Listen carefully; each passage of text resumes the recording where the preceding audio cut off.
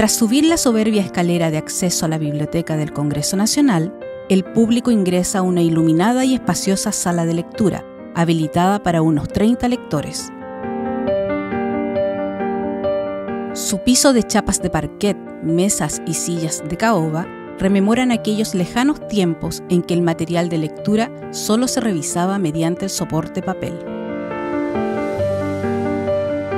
Al atardecer, se ilumina con seis antiguas lámparas colgantes de bronce, con esferas de vidrios empavonadas.